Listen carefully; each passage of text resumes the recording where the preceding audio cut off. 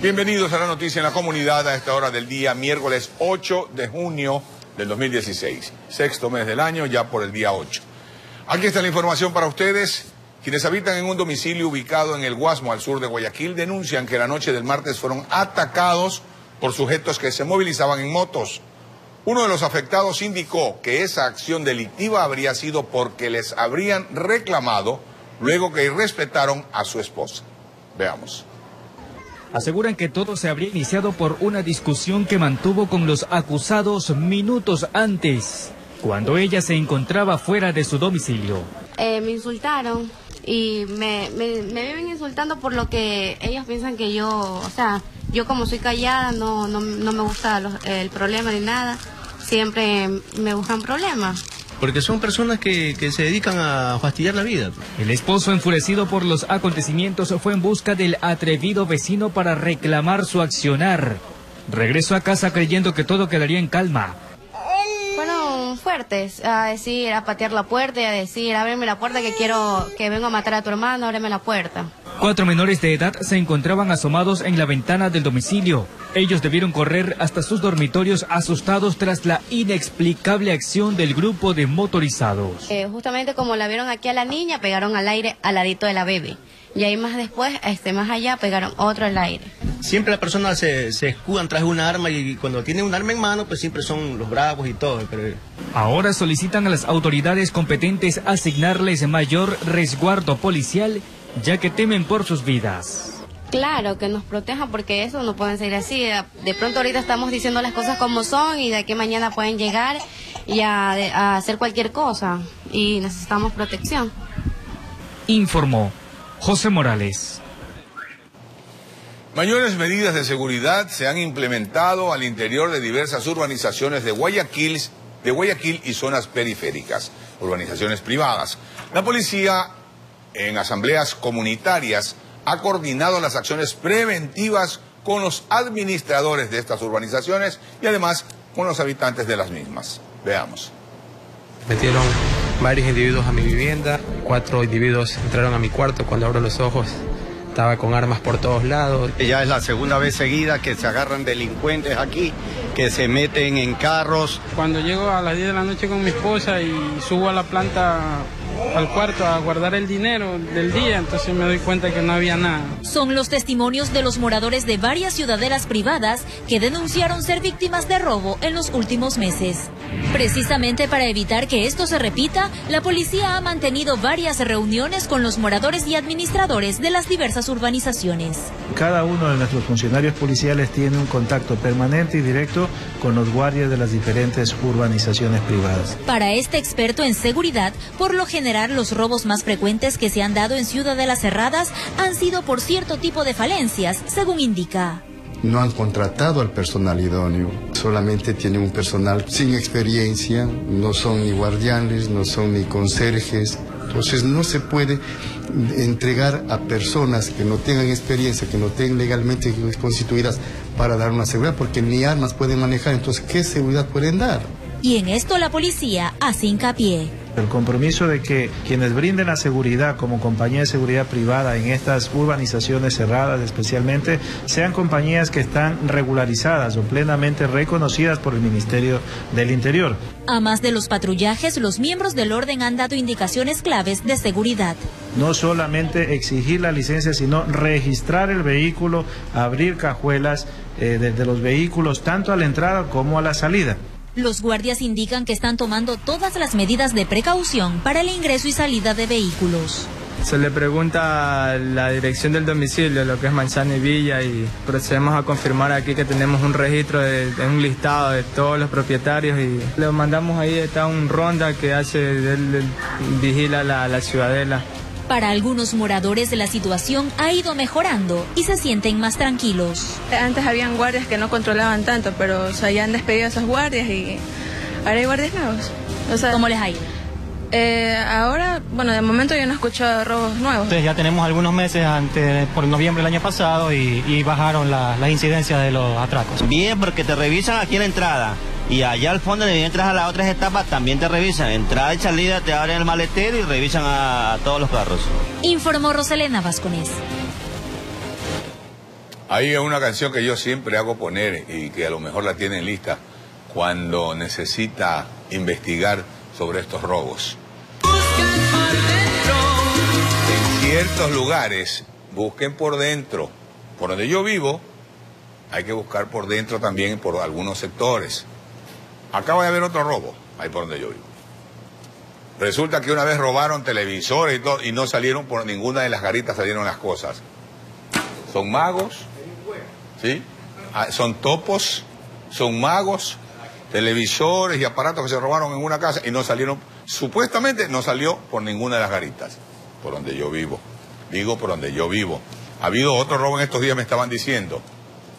Nadie sabe nada, nadie encuentra. Entonces, ahí es lo que dicen, dice el señor coronel eh, de la policía y dice el señor general, también ex general de la policía, y dicen los habitantes de algunas urbanizaciones.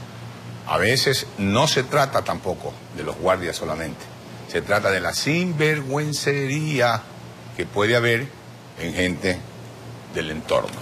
Así que busquen por dentro. Busquen por dentro. Si las cosas no salen, ¿dónde están? Adentro.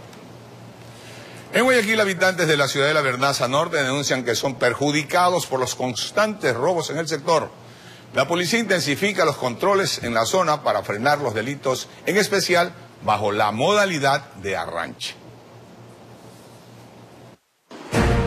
Este comedor ubicado en la ciudad de la Vernaza Norte ha sido dos veces visitado por los delincuentes, relata su propietaria. Yo escuché que dijeron, le robaron, le robaron. Y a una cliente que tenía el teléfono en la mesa. Este chico que, entró a lo último no tenía armas ni nada, simplemente lo cogió y se llevó. En cambio el que me robó a mí sí venía con una pistola, me quitó el teléfono yo estaba sentada allí y entró aquí a la cocina porque creo que ya nos habían visto porque entró a, a buscar el otro teléfono, el de mi esposa. Los moradores aseguran que los robos bajo la modalidad de arranche son los más comunes. A una chica le robaron con pistola una maleta ahí mismo en la calle principal, arranchan los celulares, se vienen corriendo acá del parque. A una amiga le robaron en el parque de acá también. A transeúntes más que todo han robado. Vienen motos, comienzan a decirle dame eso, dame aquello. Las motos más que todo son los que hacen ese tipo de, de robo. Mm, hay arranchadores de celulares, gente, los carros que están aquí estacionados se llevan las llantas. Mi mamá estaba comprando una- cosas de, de víveres. Y pasaba un carro, se bajaban este, muchachos a- con cuchillo o, re- o revólver y las amedrentaban. A este parque los vecinos dicen que prefieren no acudir para evitar los asaltos. Los delincuentes ellos se ven, se sientan aquí y analizan quiénes el fin de semana se van de viaje o no regresan y se ingresan a las casas. Lo del carro ya tiene algún tiempo donde ellos podrían esconderse ahí para hacer eh, para fumar la H ahí ya. Entonces es algo que no está bueno. En ninguna parte de la ciudad vería bueno ese tipo de vehículo ahí. La policía ha adoptado diversas medidas de seguridad, como patrullaje permanente en moto y a pie, para reducir los índices delictivos. Y atendiendo la denuncia ciudadana, estará en los puntos más problemáticos en beneficio de la comunidad. Informó Rosalena Vázquez. Bueno, y un grupo de habitantes de algunos sectores de la parroquia urbana de Guayaquil Pascuales aseguran que las tricimotos son utilizadas por los antisociales para cometer acciones delictivas. Que la delincuencia amenaza a diario, aseguran moradores de varias cooperativas de la parroquia Pascuales, al norte de Guayaquil. En San Francisco de Asís, a la dueña de esta tienda recientemente le robaron 80 dólares y los antisociales se movilizaban en bicicleta. Me metieron la mano al bolsillo y sacaron el celular y la plata. Ya a mi comadre se le llevaron, le revisaron el bolso y botaron los papeles. ¿Le Ya. apuntaron con un arma? Un revólver, sí. ¿A dónde le apuntaron? Aquí en la cabeza. Pero otro vehículo también utilizado es la tricimoto. A decir de este habitante, quien por temor prefirió ocultar su identidad. Él dice ser testigo. Ellos vienen, se estacionan ahí en la esquina con las tricimotos y los ladrones se van. Incluso la otra semana le robaron un carro aquí de, de los que vienen a dar los productos. Sin embargo, dueños de este tipo de transporte aclaran que no son todos y que la mayoría se dedica a trabajar honradamente. A veces sí, sí andan manes ladrones, pero ya pues la gente, si le dicen algo son más bravos. Y por temor pues la gente no habla. Otra modalidad delictiva es el hurto. En la cooperativa Vilcabamba, esta moradora nos indicó que justamente hace un día un ladrón ingresó a su vivienda y se le llevó su instrumento de trabajo. Una pulidora, pero fue cuestión de un segundo. En la avenida Francisco de Orellana, en la entrada de la parroquia, dos trabajadores con discapacidad física señalaron que también han sido víctimas de los malhechores recientemente. Me vienen, me abrazan y ponen el arma aquí a la cintura y me van llevando la plata. ¿Dos veces? Dos ¿Cuándo fue la última vez? El 25, en la- el 25 de diciembre de 2015 y recién hace 15 días nomás también se me llevaron la plata. Y asegura que a su compañero, quien sufre de epilepsia, le roban cada vez que tiene una convulsión. Supuestamente le están ayudando, pero ahí han metido ya la mano. ya. Le roban el dinero que tiene ahí en el bolsito que siempre carga. Siento que carga ahí. Es por ello que solicitan a las autoridades policiales incrementar los operativos de control, informó Luxiola Salazar. La noticia siempre en la Estamos de regreso, gracias por acompañarnos. Aquí hay más información. En el Cantón La Libertad, provincia de Santa Elena, la policía atendió una denuncia de habitantes de algunos sectores que solicitaron retener a una mujer que sufre de problemas mentales y les causaba malestar y problemas. Tras verificar sus huellas dactilares, descubrieron que esta mujer estaba reportada como desaparecida en el Cantón Salitre, provincia del Guayas. Por medio de una llamada al 911, la policía en el cantón La Libertad rescató a una mujer indigente, quien habría estado causando malestar en la ciudadanía debido a los problemas mentales que aparentemente presenta. Y la señora Puchica vio que estaban trabajando ahí al lado y cogió una gasolina, una gasolina, sacó la brocha y tú me lo tiró a hija en toda la cara. Algunos días anda esa señora por aquí. Los elementos policiales trasladaron a la mujer hasta las oficinas de criminalística para identificarla. Mediante las huellas dactilares se pudo verificar que se trata de Rita Elena Pisa, quien ha sido reportada como desaparecida en el cantón Salitre. La ciudadana se la encontró en el hospital de Salinas, la señora estaba un poco alterada al momento.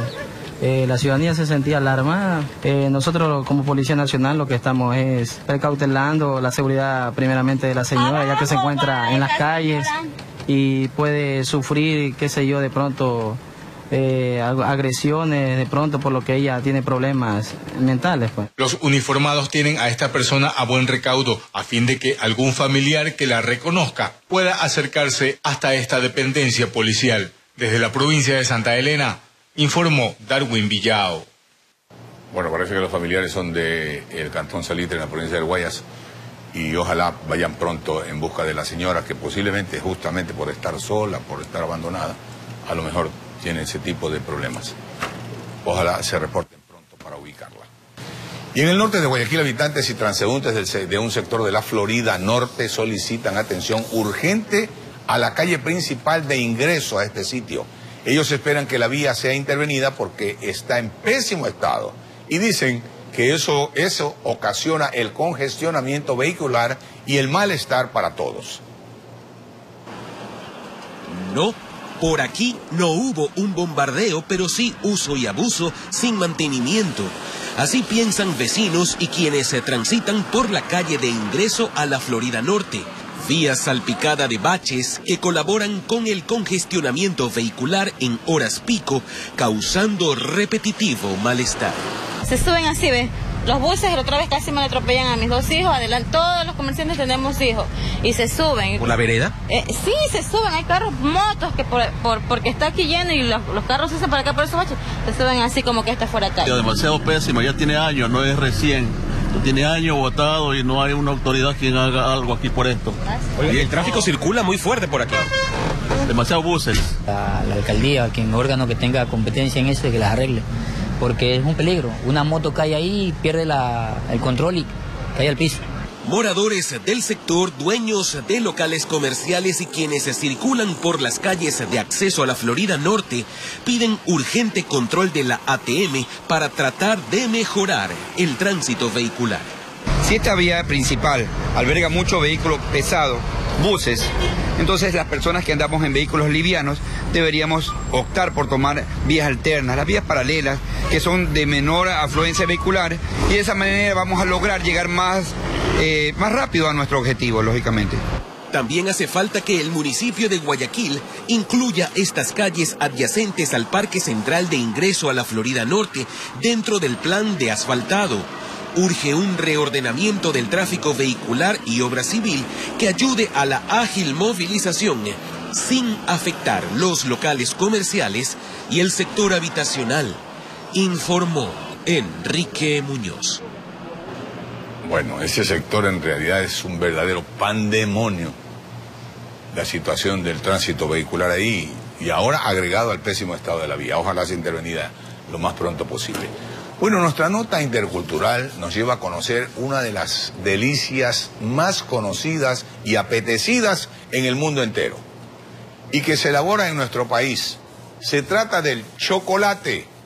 En la provincia de Los Ríos, un grupo de agricultores decidió aprovechar el cacao ecuatoriano que es considerado el mejor del mundo y fabricar su producto en diferentes presentaciones. Veamos.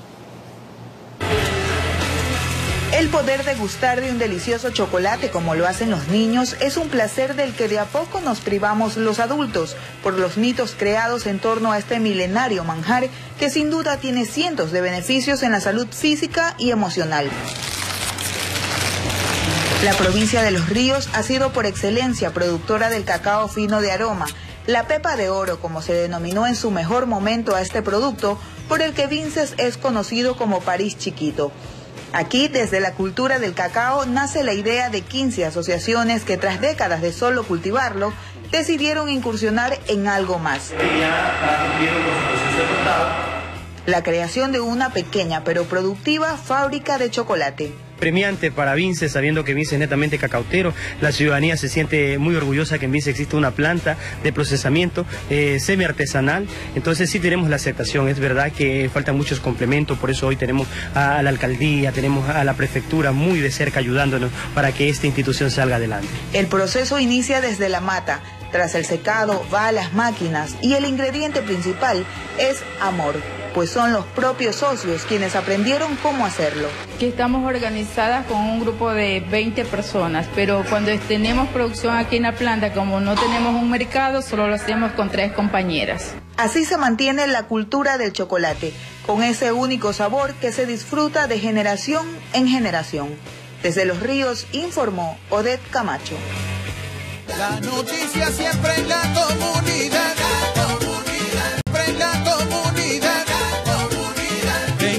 Más información. Cerca de 2.000 celulares considerados de gama alta fueron descubiertos en el interior de dos domicilios ubicados en las calles Gallegos Lara y 4 de noviembre al suroeste de Guayaquil. Aparentemente los teléfonos móviles fueron ingresados al país sin pagar los respectivos impuestos.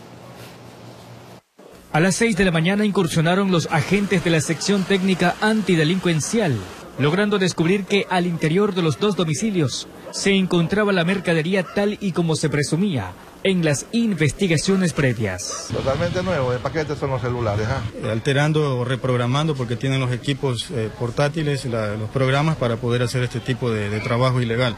Este teléfono una vez que era limpiado en este sector iba, salía al, comercio. Se presume que estos teléfonos están siendo ingresados de manera ilegal al país, evadiendo impuestos. Decenas de cartones cargados con la mercadería nueva. Sin embargo, también se pudo apreciar otros dispositivos usados, los cuales servían para completar la tarea de ingreso al mercado nacional. Esos teléfonos que no son nuevos son justamente para hacer el, cambio de los, de, los cereales y demás eh, sistemas de identidad a los teléfonos nuevos. Entonces, de esta manera, el teléfono nuevo que, que, viene de otro país es vendido aquí aparentemente en forma legal. Y aquí lo que hacen es utilizar la identificación de ese teléfono para para adaptarla al teléfono nuevo. Dos personas se encuentran detenidas para investigaciones.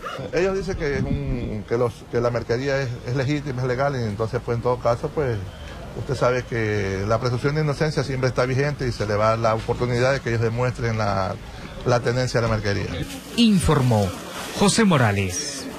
Y algunos conductores manifiestan sentirse afectados por las multas emitidas por los fotorradares, esto en Quito, nuestra capital. Ellos interpusieron una acción de protección para invalidar dichas infracciones. La audiencia de acción de protección interpuesta por varios conductores se desarrolló en la Unidad Judicial de Tránsito de Pichincha. Los demandantes buscan invalidar las multas captadas por los fotorradares, además de la devolución de la multa económica en el caso de que el valor ya haya sido cancelado, tomando en cuenta que la infracción no haya sido notificada en las 72 horas luego de suscitado el hecho según lo dictamina la norma. Y que se devuelvan los valores de las personas que pagaron las, eh, las contra- la- estas multas por contravenciones de tránsito, pero que nunca fueron notificadas, a las que se les cobró cuando fueron a matricular el vehículo, a las que se les cobró por cuando fueron a renovar su licencia de conducir. Eso pedimos. En primera instancia, la acción de protección fue presentada por 38 conductores de la provincia de Pichincha. Sin embargo, el abogado de los demandantes, Dani Gaibor, mencionó que su petición es que se aplique a nivel nacional. Que se nuliten todas las fotomultas a nivel nacional que fueron eh, notificadas de forma extemporánea Según señalaron varios de los supuestos afectados, no conocían de las infracciones cometidas, sino hasta que debieron matricular sus vehículos. Al rato que yo me acerco, ya pasé la revisión. Me dice, no, prácticamente tiene 790 dólares que pagar. Le digo, pero ¿y cómo así? Que tiene multas. Son del 2015, 2016. Del 2015 tengo como, como cuatro. Fue a demostrar, mi hijo, de que la moto esa no es la de él, con las características y todo, y se ve más claro que, que aquí no se nota mucho, que no es la moto de le demostró acá, entonces mandaron acá que venga a impugnar. Entonces aquí le dijeron que ya no puede impugnar. Nunca fue notificado, él se enteró, es porque cuando entró a, a internet a ver con las multas. De su parte, el representante del alcalde de Quito, quien estuvo presente en la diligencia, argumentó que existen tres vías de notificación al conductor, a través de correo electrónico en el domicilio o personalmente, y que los conductores no están siguiendo el debido proceso. No es el proceso adecuado esta acción de protección, sino si él cree que se están violando sus derechos a partir del artículo 179, puede iniciar una acción llamada una acción por incumplimiento de norma ante la Corte Constitucional. La audiencia se retomará el próximo miércoles para revisar las pruebas solicitadas de la Agencia Metropolitana de Tránsito, informó Sofía Vintimilla. Bueno, si fuéramos un país de gente culta, aunque no son todos indudablemente, pero en generalidad, no tendríamos necesidad ni siquiera de fotorradares. Lo que pasa es que somos un país de abusivos, un país de que me importistas, lamentablemente, insisto, no todos, pero gran mayoría sí, nos gusta hacer lo que nos da la gana, manejar a la velocidad que nos da la gana y por donde nos da la gana. Eh, y además nos gusta infringir toda ley, porque tenemos como una pasión por infringir la ley, porque nos creemos importantes cuando infringimos la ley. No habría necesidad de los fotorradares. Eso es lo que tiene que ver con los fotorradares y el control. Pero por otro lado, tampoco puede ser que después de dos años o de un año me notifiquen una, una sanción que debe por ley ser notificada en 72 horas. No importa la forma como sea, como decía, no importa cómo se la haga. El asunto es que no pueden quien administra leyes o quien administra la justicia, que en este caso es el que administra el fotorradar, no puede pues justamente violar también la ley. Entre violadores, el uno viola la ley porque excede la velocidad y el otro viola la ley porque lo, notifica cuando le da la gana o después de un año cuando va a matricular. Entonces los dos están violando la ley. Y el que quiere que se la respete tiene que cumplir con esa ley, pues. En este caso sería el municipio, porque no notifican en las 72 horas inmediatamente. O, eh, a, ¿A quién le competa? ¿A quién le competa? Uno tiene derecho de ser informado de la infracción que ha cometido. No pueden cobrarme cuando les da la gana. Es decir, que si no matriculo el carro dos años, o el carro está dañado, o pasa algo, a los dos años me van a cobrar mil, mil doscientos dólares. ¿Y de qué es esto? Ah, que el año 2010 usted tiene una citación. O el año 2015, dos años 2014. ¿Qué pasó, pues? ¿Y dónde están mis derechos? Yo sé que he infringido la ley, sí, pero ¿dónde están mis derechos para haber sido informado adecuadamente? Hemos concluido, amigos televidentes. Gracias por la amabilidad de habernos acompañado. Recuerda que puede vernos a través en el mundo entero a través de nuestro sitio web www.rts.com.es. RTS está más cerca de ti. Gracias por la compañía. Descansen. Si Dios lo permite, más luego estaremos nuevamente con ustedes. Buenos días. La noticia siempre en la comunidad. La comunidad. En la mañana